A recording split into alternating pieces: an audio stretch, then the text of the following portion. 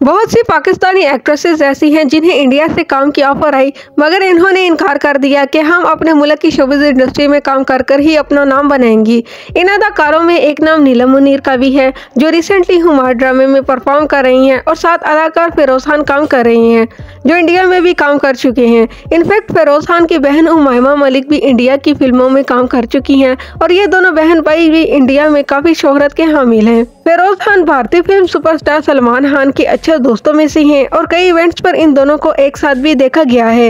Recent एक forum पर सलमान खान से नीलम मुनीर और फिरोज खान के हुमार ड्रामा से मुतलिक पूछा गया, जिस पर सलमान खान ने तारीफ़ का मुजाहरा करते हुए कहा।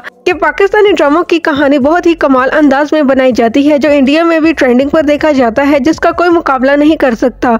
मजीद सलमान खान ने अपनी ख्वाहिश का इजहार करते हुए बताया फेरोज खान दोबारा इस अदाकारा नीलम मुनीर के साथ इंडिया तशरीफ़ लाएँ और हमारे साथ इंडियन मूवीज़ में काम करें।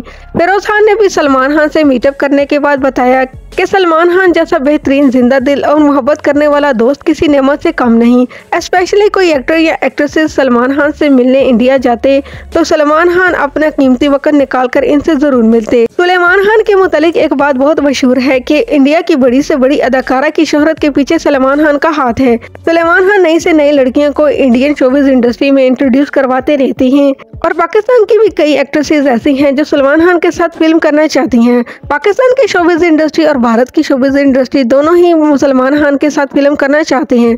सो जी तो दोस्तों, इसके साथ ही अगर अभी तक आपने हमारे चैनल को सब्सक्राइब नहीं किया तो कर लें।